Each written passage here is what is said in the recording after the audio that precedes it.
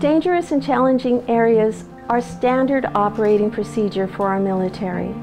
Meet AM2 Shavley, World Red Cross Day Hero in the military category.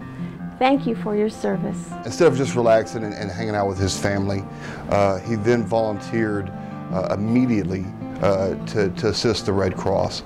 Uh, he started off by um, you know, taking uh, loads of stuff in the trucks from further inland to, to the, the, the shore uh, where there were, you know, more damage and, and more need.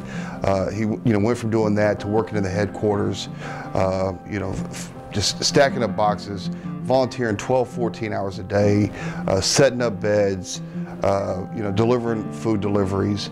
and, and really it just, that just extends more just who he is. It was very weird seeing like devastation like that because I wasn't used to it. So like seeing boats and houses, that was weird.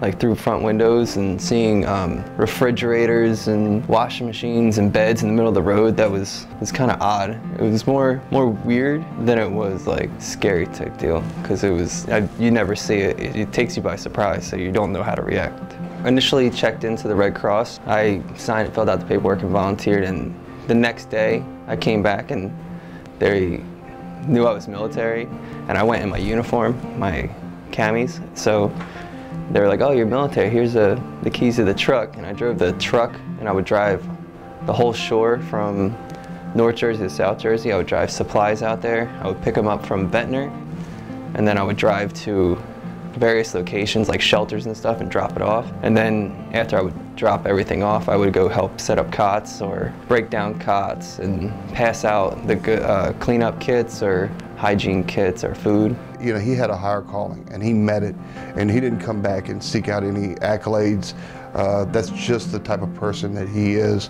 Uh, and, and to me, he fit you know, when I think of a, a modern hero, uh, he fits all the, the parameters that you look for. They would say thank you a lot. And they asked me where I was from, and then they asked me if I was here on orders, and I told them, I am, but not really, because I went home by myself. I paid for my own way home. So it was nice. Even if it was anywhere else, I would do it again. Because it feels good helping people, and you feel good about yourself when you help people.